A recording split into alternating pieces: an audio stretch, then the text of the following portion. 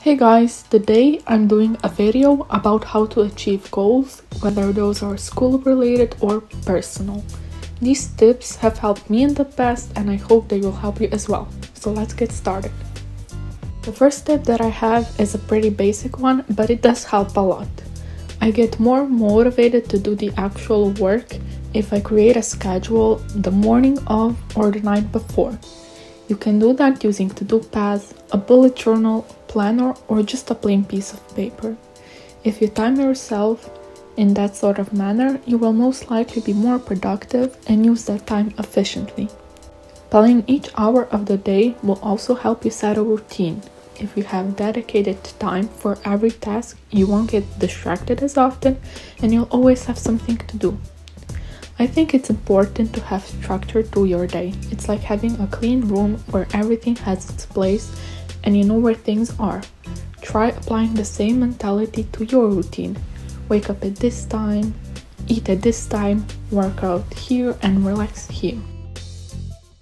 We spend hours a day watching YouTube videos, TikToks, or Instagram feeds, even though they don't have a meaningful impact on our life.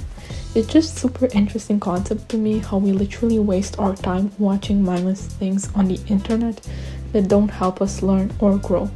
Don't get me wrong, we all need time to relax, but during the day social media just distract us and prevent us from being productive. I know it's hard, but try finding motivation to get through the task that you don't like. For me, that's remembering my goals. I think it's really important to do that and kind of manifesting what you want to achieve. Try putting things into perspective and stop resisting the tasks that need to be done eventually. Now stop procrastinating, put on that do not disturb mode and get to work. We've all had a project or a presentation or just a really simple task that needs to be completed or we need to get started on it but it can be extremely nerve wracking and we end up procrastinating it because we know it will take us a long time or we have a fear that we won't succeed at the task. It's important to break your assignments into smaller steps. For the first task, you just pick the topic you want to cover, then find the resources, write an introduction, and so on. Taking baby steps towards your goal will help you achieve big leaps over time. Also try applying Parkinson's law which states that work expands so as to fill the time available for its completion. In other words, if you have more time to do the task, it will take you longer to complete it just because of the extra time.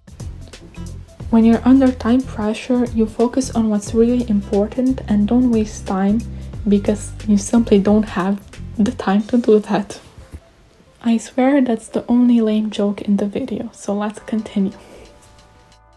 If you have trouble finding your goals in life, try following the 20 5 rule by Warren Buffett.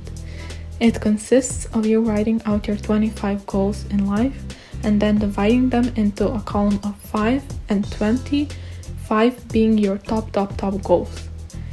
Then prioritize those 5 goals and dedicate your time and effort to achieve them. In the meantime, stay away from anything related to the other 20. If they aren't your top priority, don't spend your time on them and get distracted. Always remember your goals and work towards them. These goals can literally be whatever you want them to be, from trying to become a better person overall, to adopting a dog, becoming a successful doctor, literally whatever you can think of. And begin immediately. You won't become a doctor overnight, so just start with simple tasks, whether that's watching a YouTube video or doing some research on Google. Remember, through baby steps, you achieve big goals over time if you just stay persistent. Opposed to writing a to do list, you can actually write a stop doing list, which basically consists of all the bad habits or tics you do or have that keep you from being productive and effective in your daily life. Actually, writing them down will help you be more aware of them and hopefully make it easier to eradicate them. Whether that's spending too much time on your phone, getting distracted by the littlest things, or never putting things back in their places. Write them down and try changing those things as well. Limit your screen time, remove all the distractions, and tidy your desk at the end of the day. Something that helps me is getting the easiest tasks done first.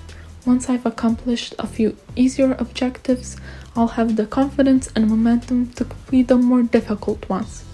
But don't replace the easy tasks with the ones that aren't necessary or you're just doing because you're trying to procrastinate the bigger ones. At the end, I just want to add that if it does take you longer to complete certain tasks or achieve certain goals than it takes your classmates or your friends, don't feel bad about it. Don't expect to get the same grades with the same amount of effort. Everyone's different and everybody has their own struggles. Focus on yourself, your goals, and manage your time wisely. But never forget to find time for yourself, relax, and do the things that interest you. Thank you so much for watching. I hope you will be more motivated after watching my video. Take care.